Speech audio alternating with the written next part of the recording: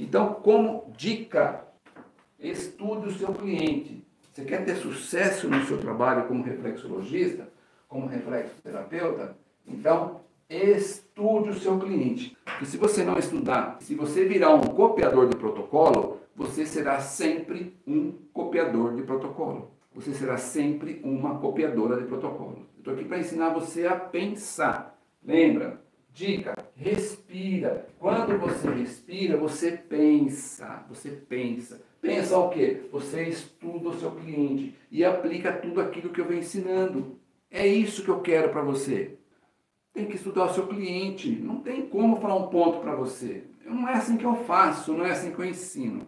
Que eu ensino, faz protocolo geral. Semana seguinte, você já fala, pô, aquele cliente lá que fuma, que bebe, etc e tal. Eu observei no meu cliente um exemplo, um exemplo hipotético.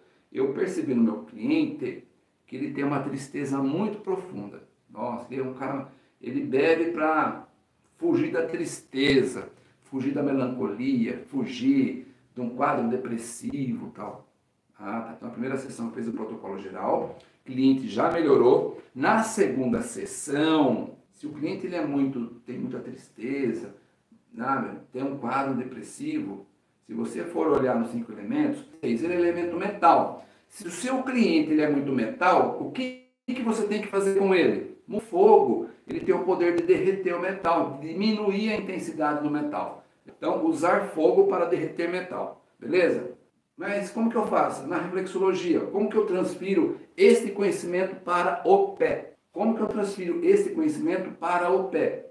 Então é assim, para diminuir a intensidade do metal, a gente trabalha o fogo, tá? Fogo, porque o fogo tem o poder de derreter o metal, na lei de contenção, na lei de diminuição, na lei de controle. E cada elemento tem um órgão e uma víscera correspondente. O órgão do, do, do fogo é o coração e a víscera do fogo é o intestino delgado, entendeu? Fogo, coração e intestino delgado, beleza?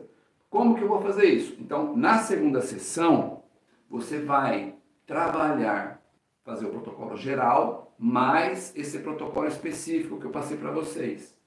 Com o protocolo específico, você vai dar mais atenção ao coração e ao intestino delgado.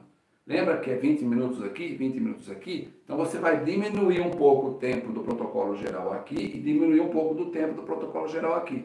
Para quê? Para dar tempo de você fazer uns 3 minutos, 4 minutos de coração intestino delgado aqui e também dar uns 3, 4 minutos de coração intestino delgado aqui. Ou seja, metal que estava demais vai diminuir e aí o seu cliente vai melhorar, entendeu? Por quê? Porque a gente pensou, você respirou, você escutou o seu cliente, você identificou o elemento que ele está e você vai trazer o equilíbrio para o seu cliente.